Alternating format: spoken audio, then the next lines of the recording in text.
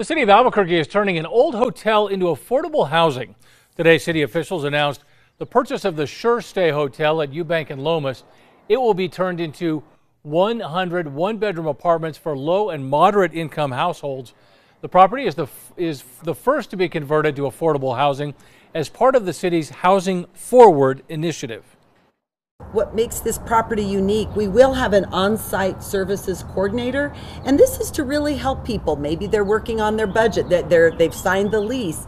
Um, maybe they want to access other kinds of supports. And so we'll have an on site services coordinator here. Construction expected to be completed in six to nine months.